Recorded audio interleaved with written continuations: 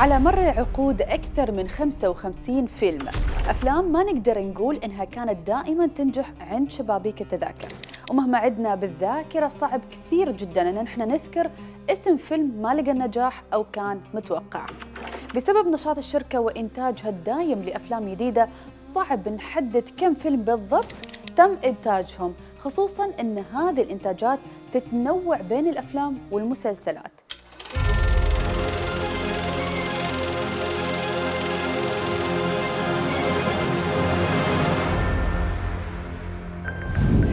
حلقتنا لليوم. خلوني أدخلكم وياي لعالم ديزني المتنوع بين السينما والمسلسلات والألعاب والمنتجات الترفيهية وأيضا الرياضية. لا وبعد بأخذكم للمنتجعات والحدائق العالمية. بداية خلوني أذكركم الشخصية اللي أنا متأكدة إنكم وايد تحبونها. لا مو بس كذي. أنتوا أنتوا أباكم وأمهاتكم وعيالكم والكل. حتى العيال الفريج اللي معاكم. منو فينا ما يعرف الشخصية المهضومة على قولة إخواننا اللبنانيين واللي هي وايد قريبة من القلب اللي هي ميكي ماوس وصديقته ميني ماوس. تخيلوا أن انطلاقة والت ديزني كانت مع هاي الشخصية. ولين اليوم تمت شخصية ميكي ماوس اللي بيصير عمرها تقريبا 100 سنة خالدة في ذاكرتنا. وبعدها محببة ومقربة لنا ولعيالنا واللي يمثلون الجيل الجديد. ديزني حسب اسمها هي مؤسسة للترفيه وليس فقط للأفلام وهي مؤسسة أمريكية ابتدت في عام 1928 ولين يومنا هذا لا زالت تقدم جميع أنواع الترفيه حول العالم.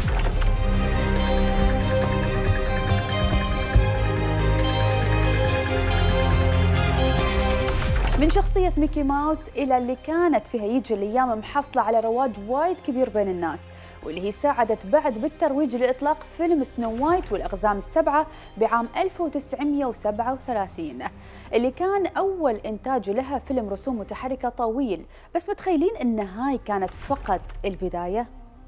طبعا ديزني ما توقف نشاطها على إنتاج الأفلام والمسلسلات مثل ما خبرتكم بل انتقلت لكل أنواع الأنشطة الترفيهية.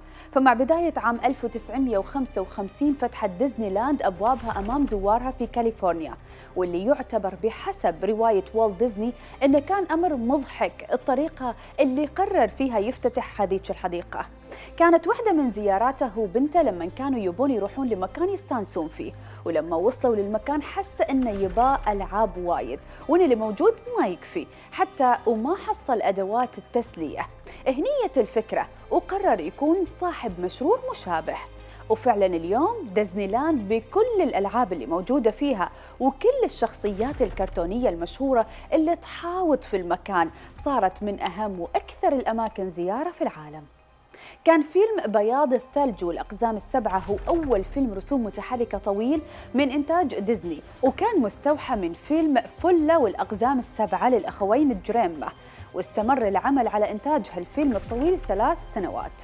طبعا يا متابعينا في هذيك الأيام كان وايد صعب إنك أنت تخاطر في الإنتاج وإنك تدخل بنوع جديد من الأفلام لكن الفيلم صدمهم لأنه حقق أعلى إيرادات لمدة سنتين. وهذا خلى منه فال خير على شركة ديزني اللي ما كانت هي بروحها متوقعة هذا النجاح إلى هذا الحد الكبير. وحينها قررت والت ديزني إن تنتقل الاستديوهات إلى مكان ثاني ويطور من مقر المؤسسة ليكون فيها استديوهات أكبر وتقدر تستوعب كمية اللي يحلم فيها من الطاقم. قصة فيلم بياض الثلج من القصص اللي لليوم نرويها لعيالنا الصغار. هذه الأميرة الجميلة اللي اسمها سنو وايت أو مثل ما عرفناها بمجتمعاتنا بياض الثلج. تعيش سنو وايت في قصر مع زوجة الأب الشريرة اللي بعد ما يت بيتها كمدبرة منزل. قتلت مرته وعقبها تزوجته بحجة الاعتناء ببنته بياض الثلج. واللي بعدها حاولت بكل الطرق إنها تتخلص منها الأميرة الحلوة خصوصا بعد ما سألت مرايتها بجملتها المشهورة. مرايتي يا مرايتي من أجمل الجميلات؟ أكيد تذكرونها. ولما ردت عليها المرأة وقالت لها إن بياض الثلج هي أجمل بنت في المملكة. هني كانت بداية الحرب أو حرب الغيرة من مرت الأب الظالمة واللي بدت في مخططاتها عشان تتخلص من سنو وايت وتكون هي الأجمل في المملكة. وبعد ما يأست الملكة الشريرة من أنها تحاول تصير أجمل امرأة في المملكة أمرت بقتل سنو وايت. لكن الحارس اللي أمرت الشريرة بتنفيذ أمر القتل قرر يتراجع عن تنفيذ هذا الأمر ويتركها تهرب إلى الغابة المظلمة ولا يحط على عاتقه أنه يقتل روح بريئة. وطبعا كان مخبر سنو وايت انه هو عنده الأمر وانه هو بيتخلص منها لكن ضميره ما طوعه وحذرها كثير من أفعال مرت ابوها. وهناك في الغابة الموحشة التقت سنو وايت بسبعة أقزام صغار يعيشون في كوخ في الغابة. ونشأت صحبة جميلة جدا بينهم وصاروا ربع.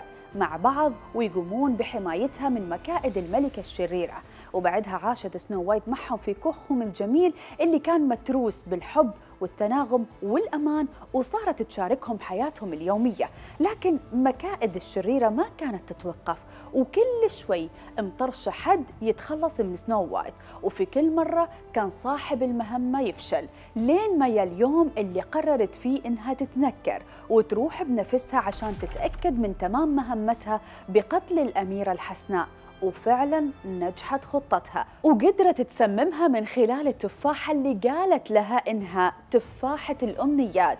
ولو تتمنى أمنية بعد أول لقمة وطبعا سنو وايت من طيبة قلبها صدقت العجوز اللي كانت مرات أبوها متنكرة في زيها.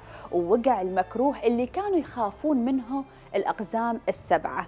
وجو البيت وشافوا بياض الثلج مغمى عليها وطايحة على الأرض وغايبة عن الوعي لين تتوالى الأحداث ويبتدي الأقزام السبعة يعتنون فيها وبمرضها واللي مو عارفين شو علاجه. وبعدين قرروا أنه يهاجموا الشريرة بعد ما دلوهم حيوانات الغابة على مكانها. وراحوا يهاجموها وابتدت ترد عليهم الهجوم لين ما فجأة طاحت من أعلى الجبل وانتهى وجودها. وفي الختام سنو وايت طبعا تتزوج من الأمير وعاشوا قصة حبهم اللي تخلدت لين يومنا هذا. طبعا هالفيلم لين اليوم تم ترند من خلال قصته ومن خلال التذكير بانطلاقة ديزني لأن مثل ما ذكرنا في بداية الحلقة أنها كانت مغامرة كبيرة وايد لما قرر وولت أنه هو يدخل في تحدي لإنتاج هذا النوع من الأفلام. واللي ما خبرناكم ياه أنه هو كان متوقع أنه بيحتاج تقريب ال 250 ألف دولار يعني بمعدل عشرة أضعاف تكلفة حلقة واحدة من ميكي ماوس اللي كانت في البداية في سلسلة ديزني. ولين ينتج نفس هالنوع الجديد من الأفلام كان لازم انه هو يغامر في رأس المال اللي نوى إنه يبتدي فيه. لكن تو ما بدأ يدخل في التفاصيل وانصدم بمبلغ التكاليف. وطبعا أخوه وشريكه روي ديزني وزوجته ليليان حاولوا كل جهدهم إن هم يثنوه عن رايه في إنتاج هذا النوع من الأفلام. وإن هي المغامرة ترى مو بزينة وممكن إنها تفشل لكن هو كان عنده بعد استراتيجي آخر يخليه يكون واثق جدا في نظرته وطموحه. وطبعا لين قدر إنه يحصل على التمويل اللي كان لازم لإنتاج هذا الفيلم اضطر حتى إنه هو يرهن بيته عشان يحصل على القرض. واللي تعرفوه إن تكلفة إنتاج الفيلم في وقتها وصل للمليون وخمسمية ألف دولار تقريبا. وهالرقم في ذاك الزمن اللي هو تقريبا من ربع قرن كان جدا ضخم. يعني كأني أقول لكم مليار بزمننا ها بس طبعا نفس ما نعرف إن هي المغامرة هي اللي وصلت ديزني للي هي فيه الحين كمؤسسة ترفيهية وعالمية وخصوصا إن في هالفيلم اللي قلنا كان الفال الطيب على عالم ديزني تعرفون ليش؟ تراني بخبركم أول شيء لأنه ترشح لجائزة الأوسكار ومو بس كذي حصل على سبع تماثيل صغار رفقة مع كأس الأوسكار كناية عن الأقزام السبعة. وطبعا الموسيقى التصويرية ترشحت لجائزة أفضل موسيقى في الأوسكار. وطبعا سلسلة النجاحات لديزني كانت كثيرة جدا وعلى مر العقود. ومن أهم وأنجح الأعمال اللي أنتجتها ديزني كان فيلم الملك الأسد. هذا الفيلم اللي استغرقت عملية إنتاجه مدة طويلة جدا وعناية فائقة جدا. هذا الفيلم الدرامي الموسيقي المتحرك اللي كان رقمه 32 بالنسبة لإصدارات أفلام ديزني من نفس النوع. ابتدت فكرة الفيلم في عام 1988 خلال اجتماع جمع ما بين جيفري كاتزنبرغ وروي إي وقام المؤلف توماس إم ديش بكتابة مضمون الفيلم. وقامت الكاتبة ليندا وولفرتون بتطوير نصوص الفيلم الأولية. تم اختيار جورج سكريبنر لتولي إخراج الفيلم وانضم إليه لاحقا المخرج روجر أليرز. بدأت عمليات الإنتاج في عام 1991 وكان ذلك في نفس الوقت اللي بدأ فيه إنتاج فيلم بوكاهانتوس مما ساهم في شهرة فناني والت ديزني للرسوم المتحركة. طبعا فريق العمل كان وايد من المهنية والاحترافية وقرروا توجه لمنتزه هيلز جايت الوطني في كينيا لدراسة بيئة الفيلم وحيواناته عشان يكون فعلا شيء مشابه للواقع حد المطابقة. ولكن قرر جورج سكريبنر مغادرة الإنتاج بسبب رفضه لتحويل الفيلم إلى فيلم موسيقي مع أن هذا القرار جاء لصالح الفيلم طبعا أنه يكون في موسيقى لأن موسيقى الفيلم بالتحديد حصلت على جائزتي أوسكار. واحدة لأفضل أغنية أصلية وأخرى لأفضل موسيقى تصويرية. لا وبعد تحسبون وقفنا هني. ترى حصل على جائزة الجولدن جلوب لأفضل فيلم موسيقي وكوميدي. وأول من انضم إلى المشروع كان دون هان اللي عبر عن عدم رضاه عن السيناريو. ما أدى لإعادة كتابة القصة وتم إنتاج حوالي 20 دقيقة من المشاهد المتحركة في استديوهات ديزني في فلوريدا. وتم استخدام تقنيات التحريك بمساعدة الحاسوب في مشاهد متنوعة ومختلفة من الفيلم. بما في ذلك مشهد مشهد تدافع الحيوانات. أما عن قصة الفيلم فهي تبدأ مع ولادة الأسد سيمبا في أرض العزة وتستمر القصة من طفولته المبكرة وبعدها بمدة يفقد سيمبا والده موفاسا. نتيجة تعرضه لمؤامرة ينقتل فيها. ونتيجة الحدث اللي صار يتحول حكم الأرض والغابة لعم سيمبا الأسد سكار. لكن سكار ما بيتريا أنه هو يقعد ويلوم سيمبا كل الوقت ويخبره أنه هو كان السبب في مقتل والده. لين ما وصلت المواصيل مع الأسد الصغير وطفر وودر كل شيء وراه ورحل عن الغابة من وراء إحساسه بالألم وعذاب الضمير. إنه هو كان السبب الرئيسي لأنه يفقد والده. ولما يهرب سيمبا من الغابة يحاولون ربعه وعياله يدورون عليه لكن ما يحصلون له أي أثر. يلتقي سيمبا أثناء رحلته بتيمون وبومبا ويصير أعز أصدقائه. ولما يكبر سيمبا يلتقي بنالة صديقة الطفولة اللي ما كانت لا هي ولا أي أحد يعرف إنه هو بعده عايش. وفي هذا اللقاء تخبر نالا سيمبا باللي صار في الغابة وكيف بطش سكار في الحكم وأن الغابة تحولت إلى غابة موحشة جدا بسبب حكمه القاسي وأن الفوضى عمت المكان. وبالطبع خبرته أنه هو لازم يرد وياها ويرجع يستلم الحكم لين تعود الأمور كما سابقها في عهد مفاسا. بس طبعا سيمبا وإحساسه بالذنب كان واقف تجاه عودته لأرض الوطن وهالشيء هو اللي خلاه يرفض عرض ناله وإنه يرد وياها. لكن بعد فترة يلتقي سيمبا بالقرد ريفكي اللي كان صديق مفاسة وبهالأثناء يحس انه هو شايف أبوه قدامه وشايف الحكمة والوقار اللي كان يتمتع فيهم وهني قرر أنه هو يرجع وياخذ الحكم من سكار الباطش. ويرجع الغابة لعهدها القديم ويتم هالشيء طبعا بعد مشاورته لرفكي ومن يعود للغابة تلقى إن الحرب قامت بين سيمبا وعم سكار اللي كان حواليه شلة حيوانات من الحيوانات الغير محبوبة في الغابة. وإنه مجمع حواليه الضباع المنبوذة وقاعدين يستلمون الغابة وحكمها. وهني بس ينشأ الصراع ويحاول سيمبا إنه هو يحل الأمور بالطريقة السلمية، لكن عمه طبعا ما يرضى يستسلم بسهولة، وبعدها بمدة ينشأ خلاف بين سكار والضباع اللي كانوا على أساس مصادقينه، وهذا اللي يدفعهم إنه هم يقتلوه.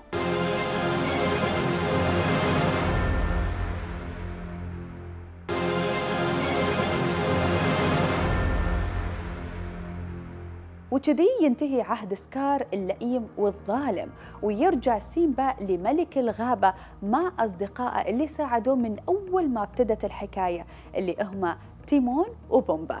وبيتزوج من نالا اللي كانت صديقة طفولته وفي مشهد رومانسي يشبه مشهد البداية بينختم الفيلم. من أهم الدلالات بعد دلالة الإيرادات اللي كانت وايد كبيرة وبلغت 968 مليون دولار تقريبا. كانت دلالة أن هذا العمل انطلبت دبلجته لأكثر من لغة وتم طلب دبلجته للغة العربية بعد سابقة سنو وايت. ومن بعد كانت من الدلالات الحلوة جدا وإن فال خير على هالفيلم أنه تم عرضه عقب ما افتتحت ديزني فرعها في الشرق الأوسط وتحديدا في دولة الإمارات العربية المتحدة. وفي عام 2011 استمر الأسد الملك بنجاحاته فهذا الفيلم تم إعادة إصداره ولكن في حلة مختلفة للمشاهد فأصبح بالإمكان مشاهدته عبر الطريقة ثلاثية الأبعاد. احتل الفيلم المرتبة الأولى في شباك التذاكر في الأسبوع الأول بإيرادات بلغت 30 مليار و200 مليون دولار وهذا اللي خلى الفيلم أول فيلم يتم إعادة إصداره من عقب فيلم حرب النجوم. وفي الأسبوع الثاني استمر الفيلم يحصد الإيرادات العالية رغم أن الناس كانت متوقعة أن الإيرادات تنزل لحد الخمسين بالمية لكنه حافظ هذا الفيلم على إيرادات عالية جدا مقارنة بأي فيلم ثاني. وطبعا ديزني تعودت إنها تحافظ على مستوى عالي من تقديم الأفلام وعودت الناس إنها كل مدة تنزل فيلم تسابق فيه وتنافس فيه السوق العالمية لإصدار الأفلام. بنختم حلقتنا مع الفيلم اللي كان رقمه 53 من إصدارات ديزني. هالفيلم يا طويلين العمر والسلامة حقق أعلى نسبة إيرادات على مستوى العالم. تعرفون أنا شو أقول صح؟ هو فيلم فروزن أو ملكة الجليد. الفيلم مستوحى من قصة ملكة الجليد وتم معالجة القصة على مدار كذا سنة. لين ما خلاص خذوا القرار وقرروا إنهم يطوروا هذه القصة عسى بيكون عندنا هالفيلم اللي حقق نسبة نجاح كاسحة بكل المقاييس. فأحداث الفيلم بتبتدي في مملكة أرينيدل اللي بتسكنها أميرتين عندهن قوة خاصة اللي هن ألسا وآنا. ألسا بتكون ميزتها إنها تروم تتحكم في الثلج والبرد والجليد لكن من طفولتها بأحد المرات بتفقد سيطرتها على قواها وهالشيء بيأذي أختها لكن الملك والملكة يساعدوها إنها تتخطى هذا الموضوع.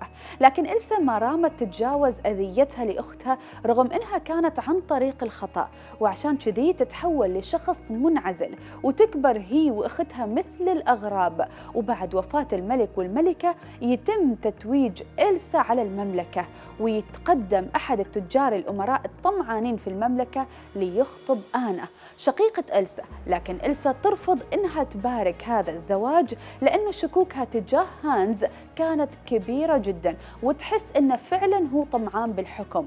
وقالت لأختها انهي هالزواج ولا تستعجلين فيه ويبالج تفكرين مرة ثانية. لكن أنا بتناقش أختها ويحتد الحوار بينهم وهني تفقد إلسا سيطرتها على قوتها وتوصل لذروتها وتعصب. وهالشيء يتسبب بالغلط إنه تتحول الدنيا لفصل الشتاء على طول السنة. طبعا هذا المشهد يكون كثير قاسي عليها واللي يدفعها إنها تهرب من المملكة وتسكن بعيد في أحد الجبال الجليدية وفي غيابها تتعرض المملكة للبرد والصقيع وبسبب قواها اللي يصيروا يرمسون عنها في المملكة إنها لعنة إلسا هي السبب وراها. لين ما تقرر أختها آنا إنها تروح تدور عليها وتردها للمملكة وتخليها تهدي وتخوز لعنتها. وفي طريقها للبحث عن شقيقتها تلتقي آنا بفتى الجليد اللي يساعدها في نهاية القصة إنها تستعيد أختها. وفي نهاية الفيلم تجسدت الحكمة اللي خلت قصة الفيلم تكون فعلا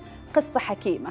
تخلي الناس كلها تتعاطف معاها وتعطي معنى جديد للحب الحقيقي. في نهاية القصة يتحول قلب آنا إلى جليد وتكون إلسا مسجونة وهانز يفصح عن نواياه الخبيثة في السيطرة على الحكم رغم أن الوحيد القادر على إحياء قلب آنا من جديد لأنه بحسب الحكيم أن وحده الحب الحقيقي هو اللي يقدر يسيطر ويغير على قوى إلسا.